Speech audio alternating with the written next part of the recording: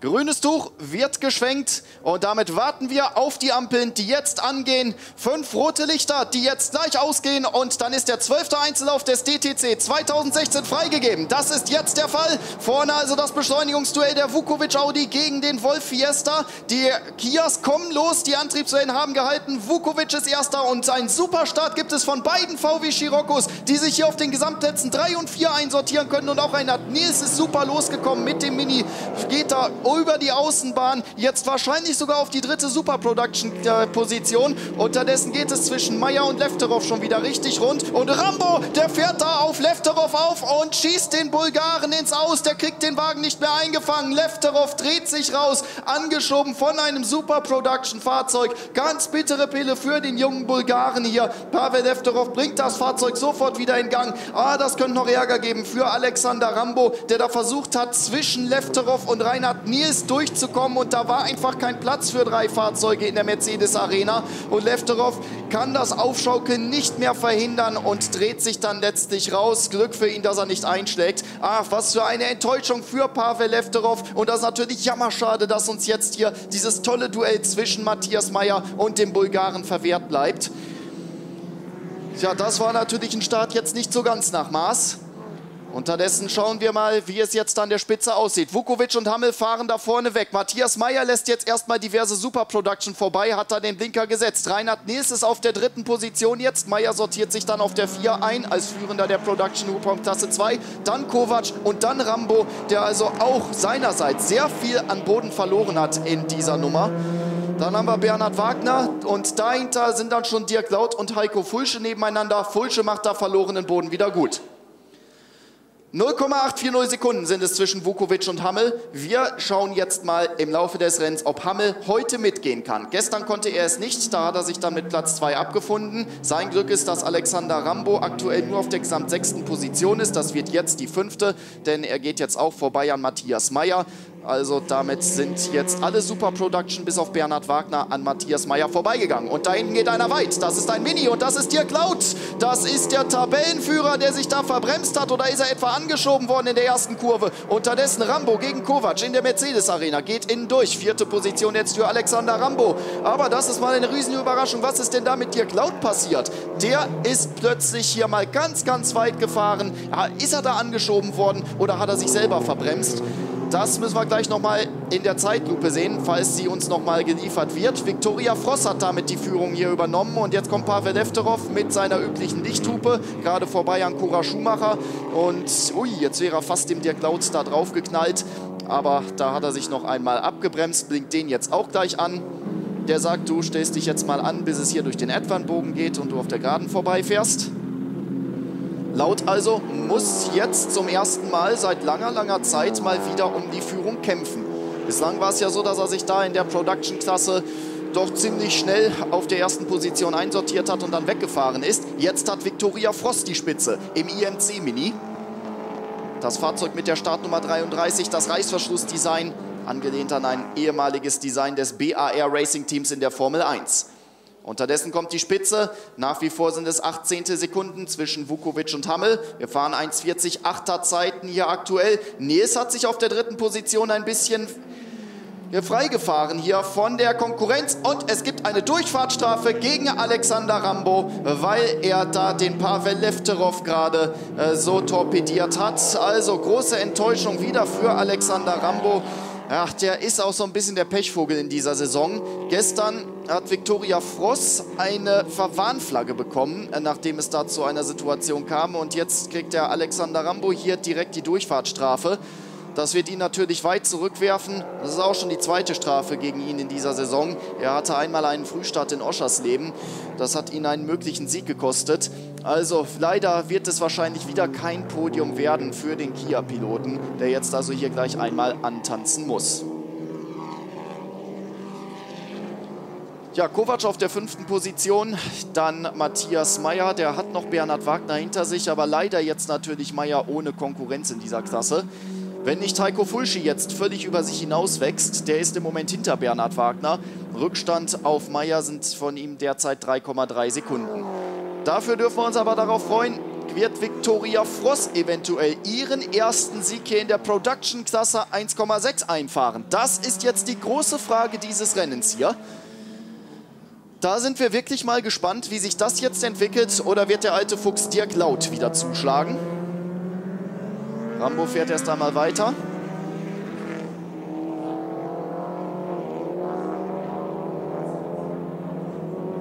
Kamera fängt uns Matthias Meyer ein, den Führenden der Hubraumklasse 2 in der Production-Kategorie.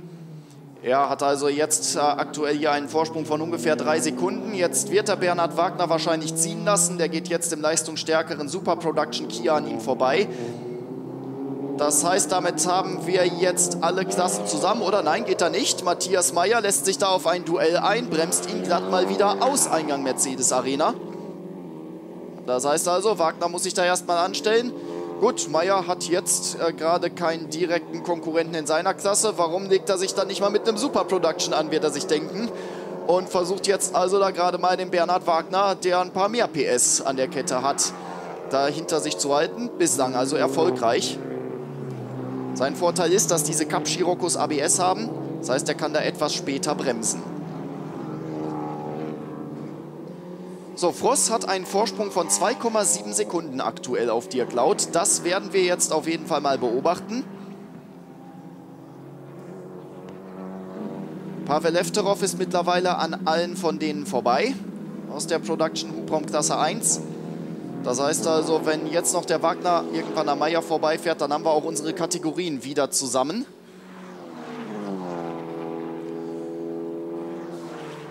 Ja, und Heiko Hammel, der hält an der Spitze erstmal so halbwegs den Anschluss an Milenko Vukovic. Das ist nicht so eng wie das, was wir hier auf den Bildern sehen. Matthias Meyer und Bernhard Wagner, die da sehr eng zusammen sind. Aber das ist nicht so ein Ding wie gestern, wo Milenko Vukovic sich relativ easy da an der Spitze absetzen konnte. Was auch daran lag, dass Heiko Hammel äh, dann so ein bisschen bedrängt wurde von Alexander Rambo, der übrigens immer noch nicht zur Durchfahrtsstrafe gekommen ist und erst einmal weiterfährt.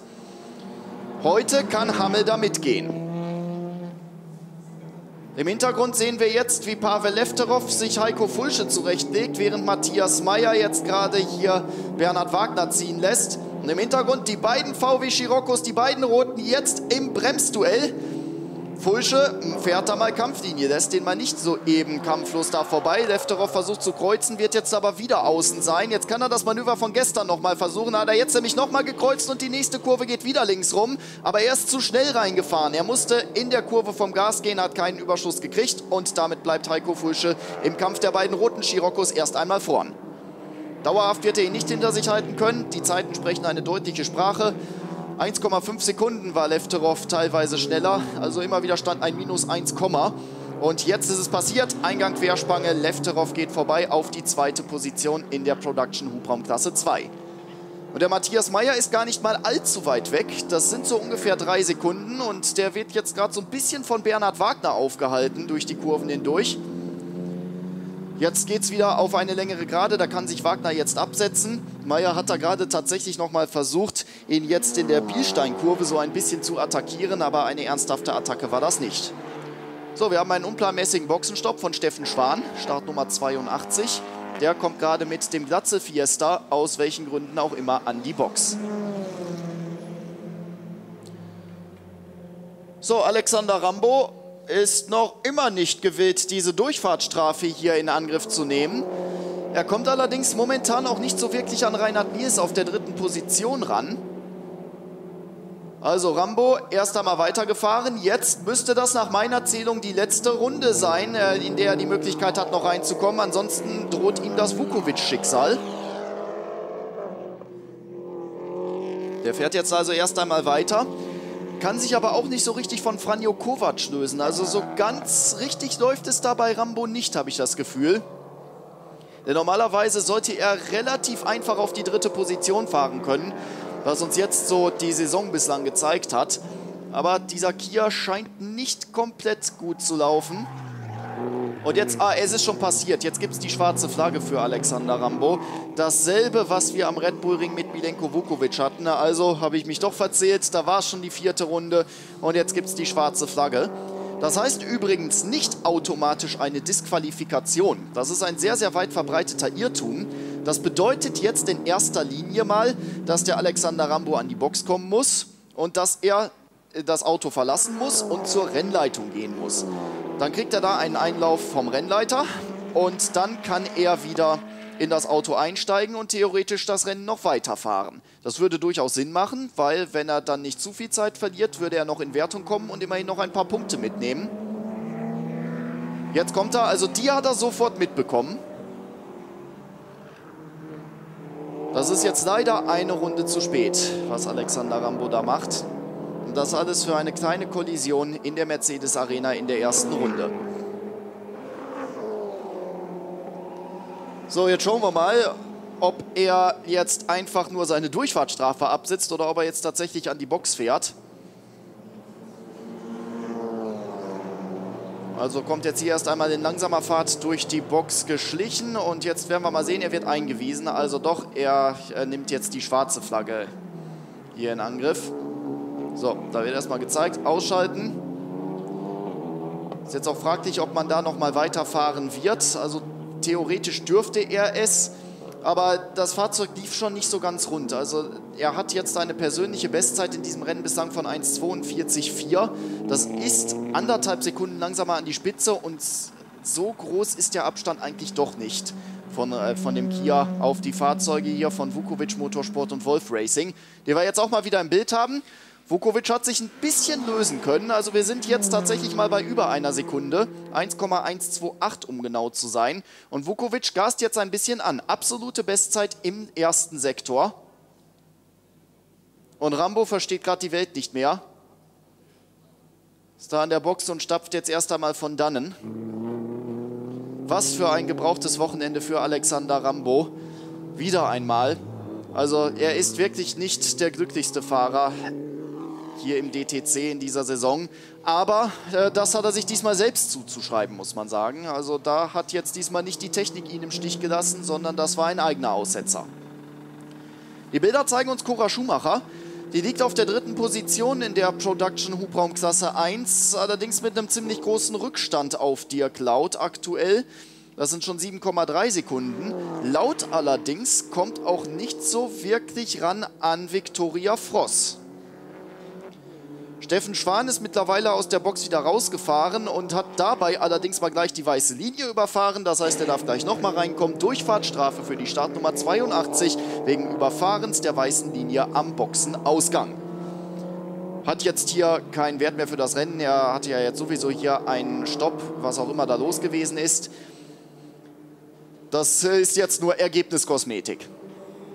Also Vukovic, keine neue schnellste Runde von ihm, aber 13. schneller gefahren als Hammel in dieser Runde. Jetzt sind wir bei knapp 1,4 Sekunden. Er versucht sich jetzt also da vorne doch so langsam aus dem Staub zu machen. Nils dann 14 Sekunden Rückstand auf Heiko Hammel und Kovac weitere 1,7 zurück. Da könnte es noch spannend werden im Kampf um den letzten Podiumsplatz zwischen den beiden Gentleman-Piloten, Reinhard Nils und Franjo Kovac.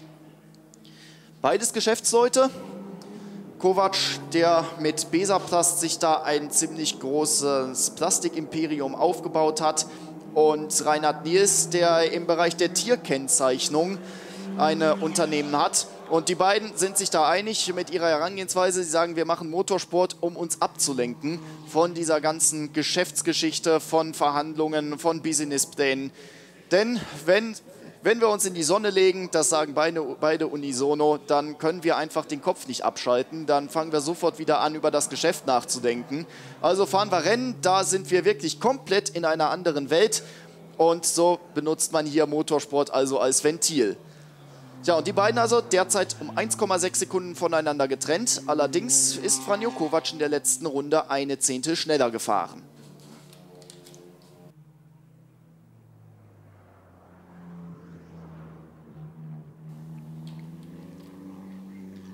Ja, Pavel Efterov hat Matthias Meyer wieder eingeholt. 0,5 Sekunden nur noch. Also ich kann mir jetzt durchaus vorstellen, dass Matthias Meyer da vielleicht doch ein bisschen auf seinen Kontrahenten gewartet hat.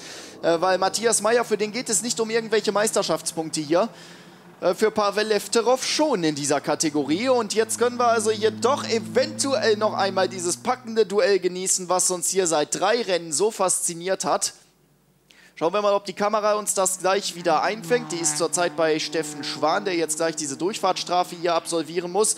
Da Dirk Laut doch immer weiter gegenüber äh, Viktoria Fross abfällt, jetzt sind es schon 4,8 Sekunden, wird das eventuell jetzt erst einmal das einzige große Duell werden, was wir hier gleich sehen, zwischen Meyer und Lefterov, was wir also schon die ganzen letzten Rennen jetzt immer wieder hatten. Sie uns hier wirklich aufs Feinste unterhalten haben. Und auch Kovac ist jetzt direkt dran an Nils. Das konnte man gerade in dieser Einblendung, wo Steffen Schwan gerade an die Box zuckelt, äh, konnte man das noch im Hintergrund sehen. Die sind sehr dicht zusammen.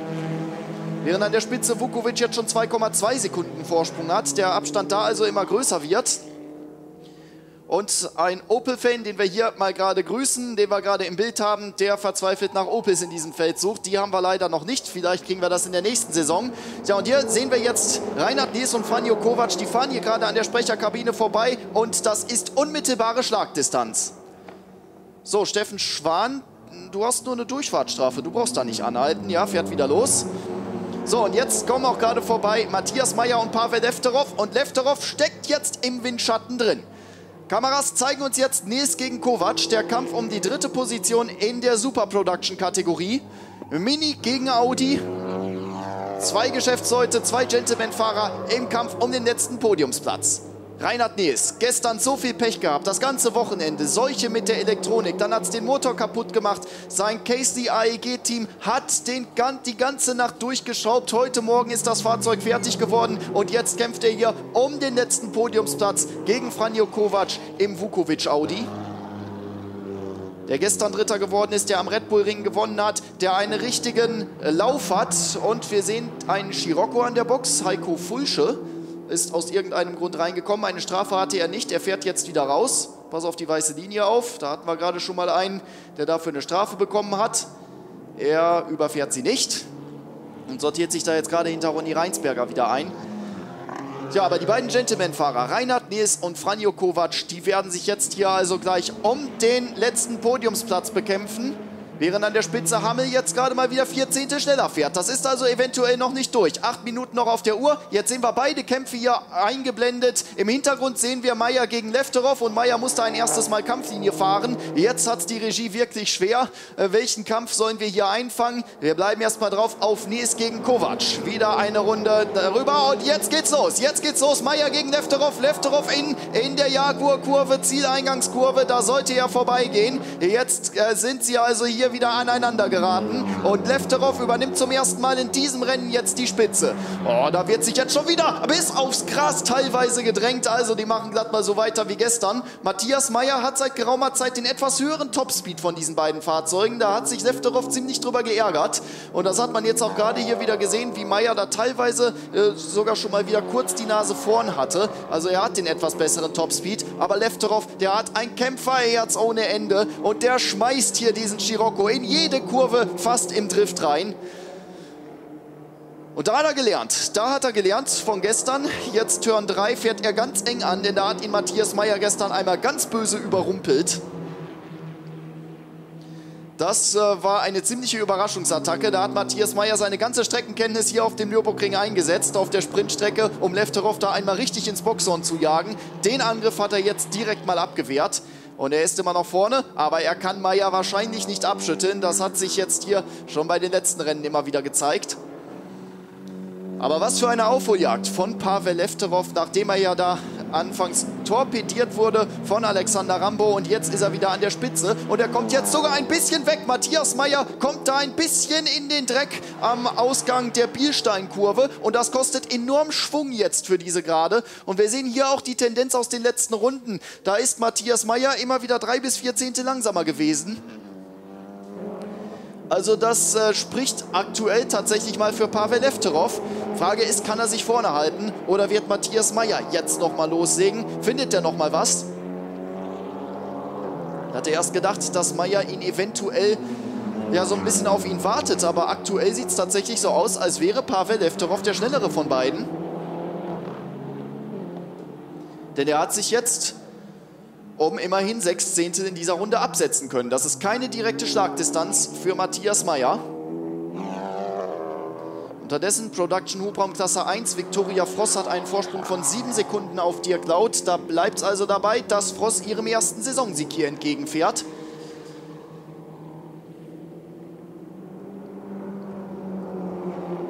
Das Fahrzeug von Laut klingt auch nicht sonderlich gesund. Er ist hier gerade vorbeigekommen und das klingt fast, als würde er nur noch auf drei Zylindern laufen. Also ein sehr, sehr raues Motorengeräusch da bei seinem Mini. Da ist etwas wohl nicht so ganz richtig. Das heißt also, da hat sich das Thema Titel jetzt auch erledigt für dieses Rennen. Das wird also mal vertagt nach Solda, wo das nächste Rennen dann im September auf dem Programm steht. So, und wir sehen jetzt auch noch einen Kampf zwischen Ronny Reinsberger und Ralf Glatzel. Da geht es um die vierte Position in der Production Hubraum Klasse 1. Das sind die beiden Glatzel Ford Fiesta, der knallrote und dann der schwarze Bolide. Die sind gerade sehr dicht. Ach nee, das war Steffen Schwan. Nein, da muss ich mich korrigieren. Das war Steffen Schwan in dem anderen der schwarzen Glatze Fiesta. Und der ist ja überrundet. Und da war Ronny Reinsberger gerade ganz dicht dran, als die an der Sprecherkabine vorbeigefahren sind. Äh, Ralf Glatze hat einen Rückstand von 21 Sekunden aktuell auf Ronny Reinsberger. Da hat sich der Fall also erledigt. Und eventuell erledigt sich auch der Fall gerade im Kampf um die Super Production Position 3. Denn Franjo Kovac hat sich gerade ganz schön heftig verbremst in der Vedul-Schikane und hat jetzt dadurch mächtig an Boden verloren. In der letzten Runde zweieinhalb Sekunden langsamer gewesen als Reinhard Niels und damit hat dieser jetzt erst einmal wieder einen beruhigenden Vorsprung und das fährt wahrscheinlich Kovac jetzt aus eigener Kraft auch nicht mehr in den verbleibenden drei Minuten und 43 Sekunden zu.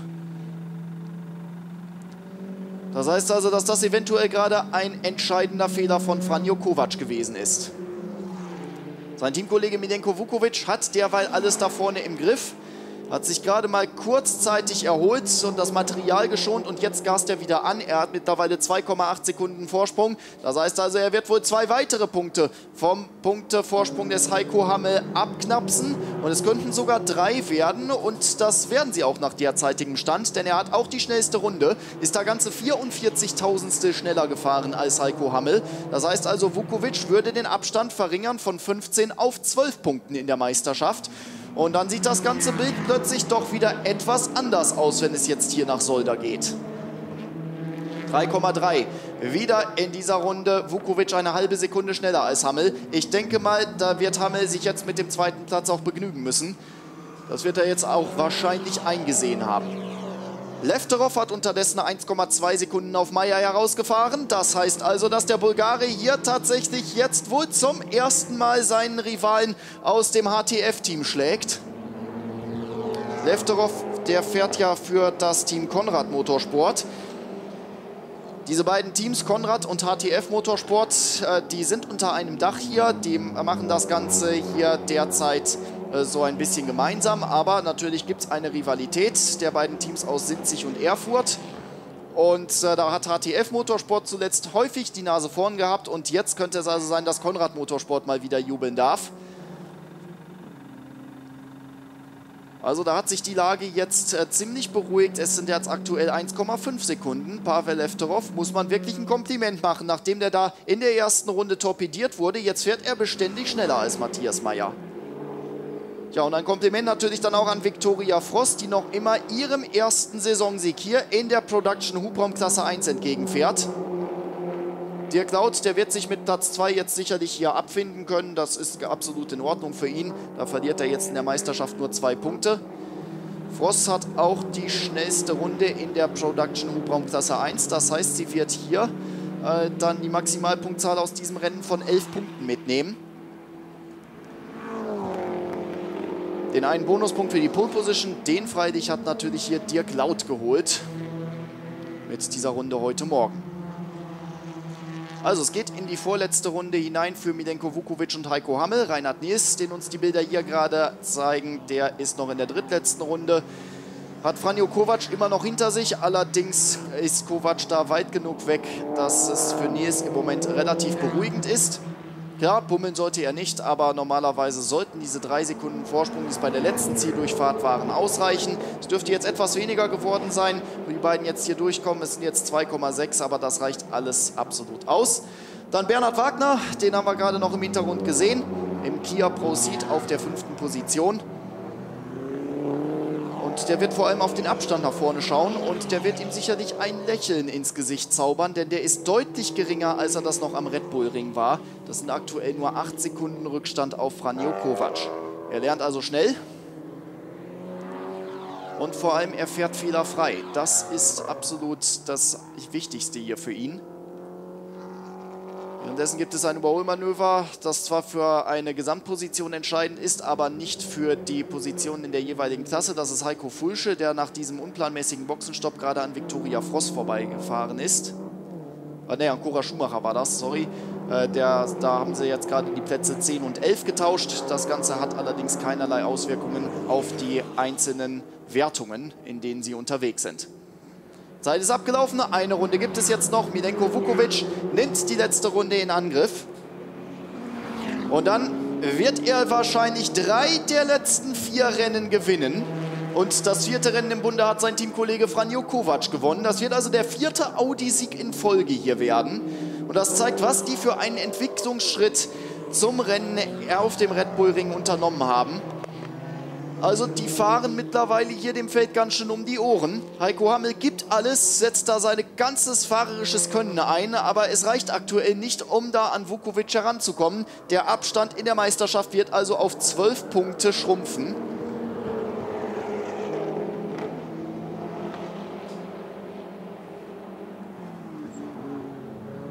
Geht in Richtung der Querspange für Milenko Vukovic. So, wir können sehen, dass Pavel Lefterov weiterhin einen beruhigenden Vorsprung hat auf Matthias Meyer. Zweieinhalb Sekunden. Also es wird für den Bulgaren jetzt tatsächlich einen Sieg im direkten Kampf gegen Matthias Meyer geben. Und das, nachdem es da nach der ersten Runde so hoffnungslos ausgesehen hatte. Aber Milenko Vukovic hat jetzt noch ein paar zu überrundende Fahrzeuge vor sich. Cora Schumacher wird er wahrscheinlich noch überholen. Ich denke mal, Heiko Fulsche, den kriegt er nicht mehr eingeholt. Und dann ist es vollbracht. Dann feiert er seinen dritten Saisonsieg trotz voller Zuladung im Audi von 50 Kilo. Die hat Heiko Hammel natürlich auch drin. Aber die Reifen halten, alles problemlos. Milenko Vukovic, vierter Sieg in Folge für die vier Ringe.